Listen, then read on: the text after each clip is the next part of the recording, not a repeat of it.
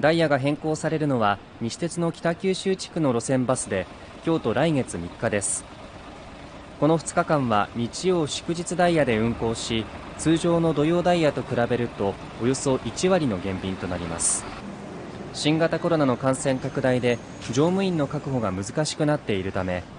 西鉄は今月8日から福岡地区のキャナルシティライン線と都心循環の BRT 線北九州地区の小倉から黒崎折尾線と小倉戸端線の連接バスで運行する便を運休しています。減便は来月4日までの予定ですが西鉄は乗務員の確保にめどがつき次第通常ダイヤへ戻す可能性もあるとしています。